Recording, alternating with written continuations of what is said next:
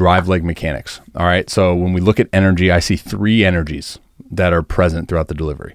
Um, first energy that's present uh, I would say is ground force energy that's made up by the drive leg. So the drive leg mechanics, the responsibility descending from peak leg lift is to essentially absorb this force energy in our drive leg um, coming down. We want to absorb energy. We want to be, be able to produce that energy that we stored coming down from leg lift, produce that into the ground, and then store energy in the drive leg until it becomes time to rotate our hips and then have that available um, through the kinetic chain. Second energy system is uh, forward acceleration, and then third is segmentation, separation, rotational energy. All right.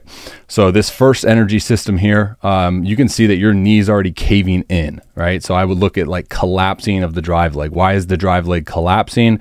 Is it a motor control issue? Is it something that your uh, body is not used to, hasn't been taught the right movement pattern of that specific, uh, you know, drive leg loading phase? Or is it just single leg instability? Uh, that's going to be something that uh, you're going to have to figure out. You'll see a bunch of stuff on that in the report, but that's going to be our biggest thing, um, not biggest thing, but like in terms of lower body mechanics, I see that as a as a huge piece to why potentially your arm is having to make up for lost energy. All right. So as I mentioned earlier, Josh Staumont, um, dude throws freaking a zillion miles an hour and very similar to move as you, but you're going to see that same kind of component here as he descends from leg lift.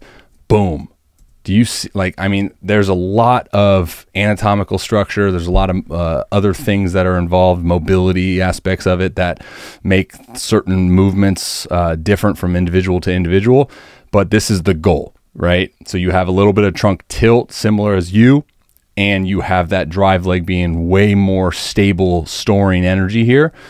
Um, and we'll kind of just keep going on here uh, talking about now this this storing and then snapping into rotation. All right, drive leg. So now as soon as it becomes time to then rotate and and transfer that drive leg energy, the hand flips up in time with the the hips internally rotating. So you see how that works right there? Boom.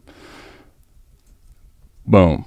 So now when he anchors down with the front foot right here, boom, he has that energy available.